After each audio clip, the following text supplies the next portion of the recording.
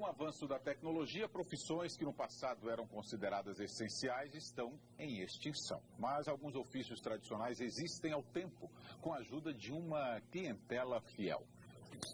Houve um tempo em que o datilógrafo era um profissional muito ocupado. Veio o computador e o datilógrafo desapareceu. O mesmo destino teve o coletor de impostos. Também foi atropelado pelos sistemas de informática. Outras profissões teriam caído no esquecimento se não fosse a resistência de trabalhadores como o seu Enoque. Há 30 anos, ele é amolador de alicates. É uma profissão que só se faz assim mesmo, é artesanal, né? Já virou uma amizade e eu só amolo com ele. Na era dos aparelhos de TV planos, existe quem ainda conserte as velhas TVs de tubo. Lando está neste ofício há 40 anos, período em que viu muita coisa mudar. Hoje, praticamente, nós já estamos na sexta geração da eletrônica aqui no Brasil. Quando eu comecei, estava na primeira, que era a Volvo. E é aqui no centro do Recife que esses profissionais, muitos deles anônimos, estão trabalhando. E não tem boquinha, não. É embaixo de sol e de chuva. Eles estão aqui, marcando presença todos os dias. Como o Severino, que ganha vida engraxando sapatos. Aí eu comecei através do meu sogro, ele era sapateiro, Aí eu começava a ajudar ele e tô no ramo até agora. E tem cliente cativo. Já engraxo o sapato aí há mais ou menos uns 5 anos. E quando a gente engraxa em casa e vem aqui para ele fazer o serviço, é completamente diferente. O serviço aqui é de qualidade. Sabe aquele sapato que você gosta, encaixa bem no pé, mas está desgastado? Se cair nas mãos de Alexandre, pode ficar como novo. E não é só sapatos tênis e bolsas também tem conserto. Tem serviço fácil, serviço complicado, que a pessoa olha assim que não tem. Tem sapato que não vale nem a pena, mas a gente tenta dar um jeito para deixar ele novo. E fazer arranjos de flores. Esse serviço tão delicado, somente com muitos anos de prática se chega a um resultado como esse. Gosto do que faço. Aqui formei três filhos. Aqui eu infartei, aqui eu estou continuando vivendo em pé.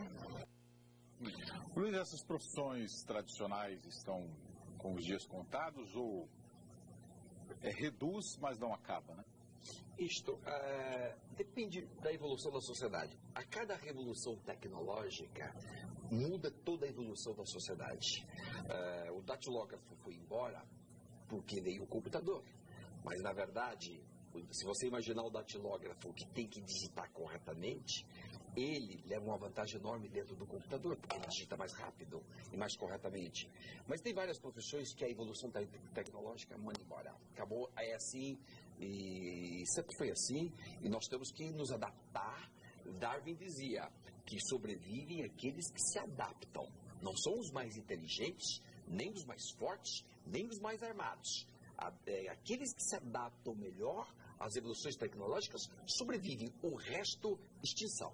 Agora, Aline, o contrário, as profissões que, com manuais, né, que usam as mãos, a habilidade manual, elas têm uma valorização na sociedade tecnológica. Né? Por exemplo, um fabricante de terno hoje que faz é. manualmente. É, e o problema é, que é o seguinte, a, talvez a maioria, talvez 80% seja eliminado, mas aqueles 20% que sobram, eles conseguem uh, uma clientela que vai então pagar muito bem aquele trabalho manual. E o ideal é justamente isso, que todas as profissões sejam valorizadas. Você tem trabalhos manuais que são extremamente precisos, por exemplo, uh, um ourives ou até mesmo um dentista que faz canal, ou tem, tem muitos trabalhos manuais que são, eles também é intelectual, todos E o são. amolador de alicate, o que é uma mulher sem um alicate de unha? Não, e é difícil achar quem, quem faça Ou direito. espelho.